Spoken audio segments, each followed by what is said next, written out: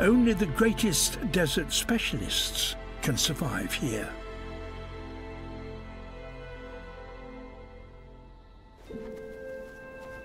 Arabian oryx. Their ranges are vast, extending for over 3,000 square kilometers.